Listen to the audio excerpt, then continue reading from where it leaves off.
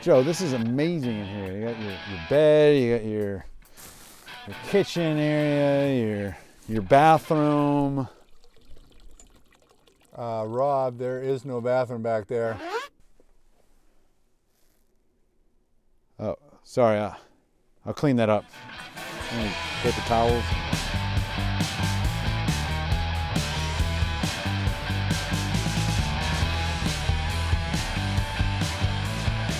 Hi, I'm Rob Nixon, and I know nothing about trucking.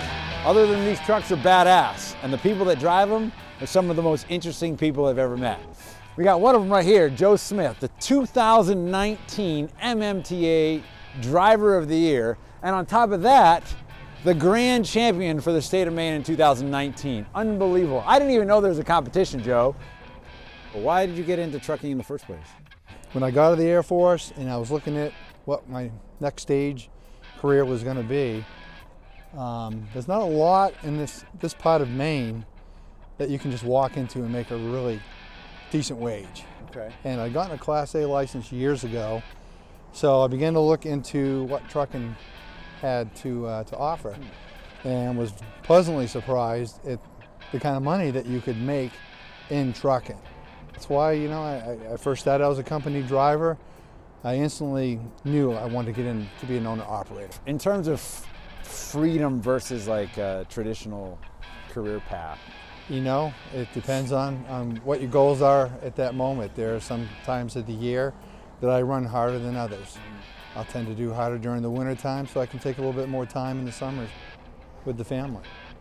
Um, being an owner operator definitely has its benefits, especially with my truck being paid off. So the, the, the competition fascinates me that there's a bunch of uh, in, incredible talented drivers that are, are, you know, going through these intricate puzzles to try and figure out how to win the, the, the best driver award. Why are you drawn to it? I think uh, I think it's the camaraderie, you know, because you're around a lot of like-minded people. These are not just drivers; they're out there to drive, but they're drivers that are out there to excel at their craft. Right. You know, and doing it in a competition type arena is great because you, you forge these relationships with other professional drivers, and some of these guys are pretty amazing.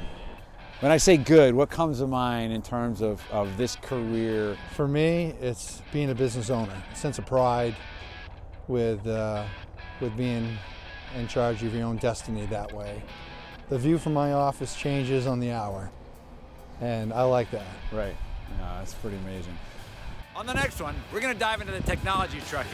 Hit the subscribe button if I can make them honk.